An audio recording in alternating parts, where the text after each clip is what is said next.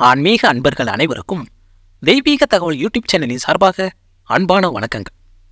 வாஸ்து சாஸ்திரத்தில் மரங்களுக்கும் செடிகளுக்கும் முக்கிய பங்கு உண்டு. வீடு வேலை செய்யும் இடங்களில் கூட சில குறிப்பிட்ட செடிகளை வளர்ப்பதால் மட்டுமே செல்வ வளத்திற்கும் வாழ்க்கையில் முன்னேற்றத்திற்கும் நேர்மறை ஆற்றலின் கட்டாயம் பெற முடியும். அதற்காக பார்க்கும் செடிகள் அழகாக இருக்கிறது என்று நாம் அனைத்தையும் வாங்கி வளர்க்கக்கூடாது. அப்படி வளர்த்தால் நமக்கு எதிர்மறையான விளைவுகளை ஏற்படுத்திவிடும். அந்த வகையில் குறிப்பிட்ட இந்த ஏழு செடிகளை உங்கள் வீட்டிலோ அல்லது அலுவலகத்திலோ வளர்த்தால் துரதிர்ஷ்டம் வந்து சேரும்.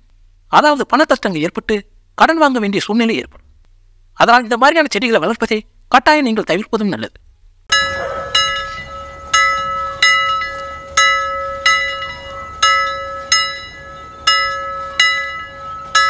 நீங்க இப்பதான் முதல் முறையா தெய்வீக தகவல் சேனலை பார்க்குறீங்கன்னா கீழே இருக்கிற சப்ஸ்கிரைப் பட்டனை கிளிக் பண்ணுங்க.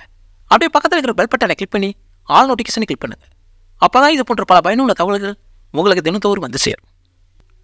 வாஸ்து சாஸ்திரத்தின்படி துளசி மணிப்பான் செடிகள் செல்வ பலத்தையும் அதிர்ஷ்டத்தையும் தரக்கூடியது என்று நாம் அனைவருக்குமே தெரியும்.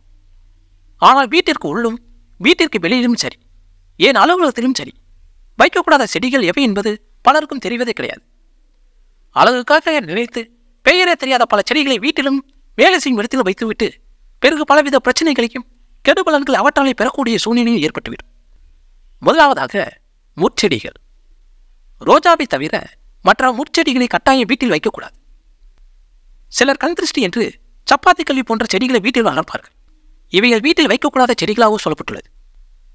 அடுத்ததாக வாஸ்துப்படி சிவப்பு நிற மலர்களை கொண்ட செடிகளாகவும் போன்சாய் மரங்களை வீட்டிற்கு உட்புறம் வைக்கக்கூடாது.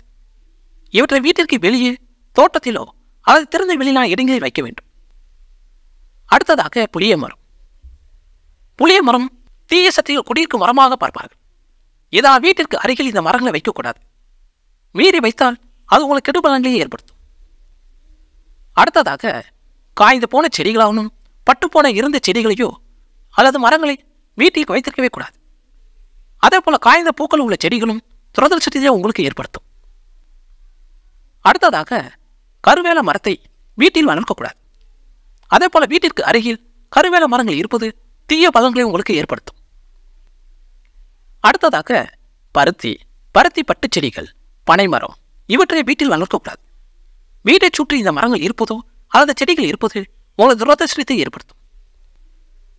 கடைசியாக சிறியதோ பெரியதோ எதுவாக இருந்தாலும் தொட்டிச் செடிகளை வீட்டின் வடக்கு அல்லது கிழக்கு பக்க சுவர்களுக்கு அருகில் வைக்கவே கூடாது. வீட்டின் கிழக்கு அல்லது வடகிழக்கு திசையில் பெரிய மரங்களை வைப்பது உங்கள் குடும்பத்துக்கு எதிர்மறை ஆற்றலை அதிகரிக்கச் செய்யும். இதை வீடியோ உங்களுக்கு பயனுள்ளதாக இருக்கும்னு நினைக்கிறேன். இந்த வீடியோ பிடிச்சிருந்தா உடனே லைக் பண்ணுங்க கமெண்ட் பண்ணுங்க. மறக்காம நம்ம சேனலை சப்ஸ்கிரைப் பண்ணுங்க. நன்றி.